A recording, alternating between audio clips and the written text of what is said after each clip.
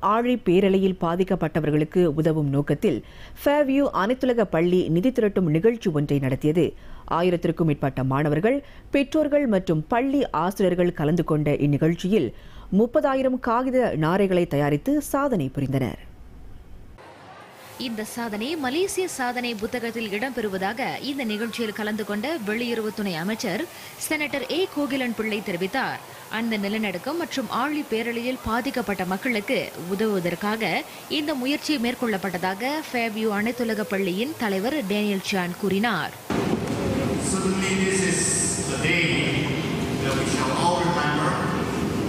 Not just having school students,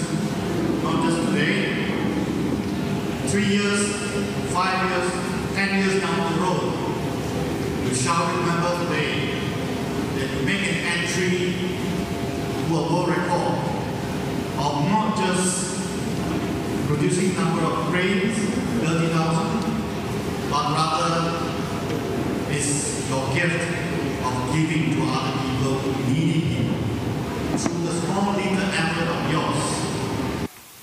இந்த நிகழ்ச்சியின் மூலம் ஒரு லட்சம் ரிங்கிட் நிதி திரட்டப்பட்டதாக ஷியான் தெரிவித்தார். அந்த நிதி மலேசிய செம்பெரு சங்கத்தின் வாயிலாக அம்மக்களை சென்றடையும்.